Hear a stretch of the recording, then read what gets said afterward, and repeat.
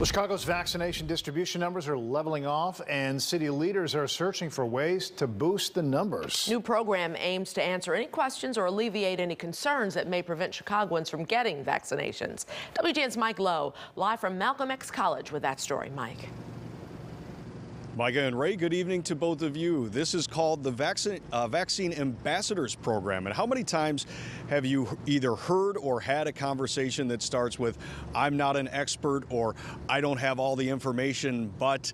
Well, this is an online course with a kind of academic stamp of approval that would give people the right information so that they would know what they're talking about, so that they could take that information back to their own neighborhoods.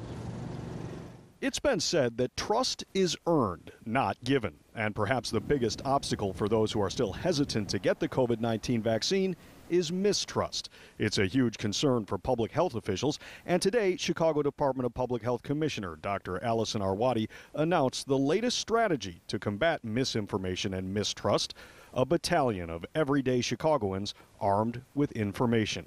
But our goal is to turn anyone in Chicago who wants to become a vaccine ambassador, we want to give some support. They found that even those celebrities. I'm Morgan Freeman. I'm not a doctor, but I trust science. Sports stars. My name is Richard Dent. I am getting the COVID vaccine. And politicians. Making sure that they get their shots perhaps at their doctor's offices. Can push a message, the most effective pitch is personal. People are more likely to listen to their friends and neighbors, and that is why we developed this local ambassador program. So the city is partnering with the city colleges of Chicago to offer a free online course. Malcolm X College is hoping hundreds, maybe even thousands, will participate.